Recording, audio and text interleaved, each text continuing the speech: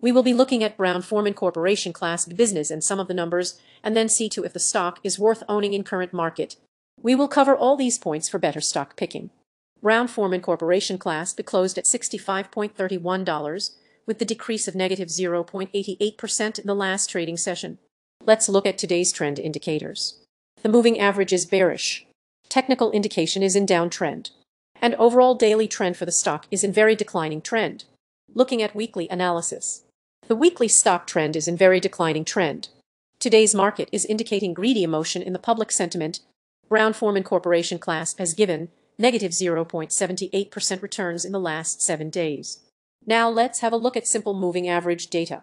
Five-day average for Brown-Forman Corporation class is moving with 65 towards bullish indication. Let's have a quick glance at fundamentals. Recent quarterly revenue of Brown-Forman Corporation class is $1094 million.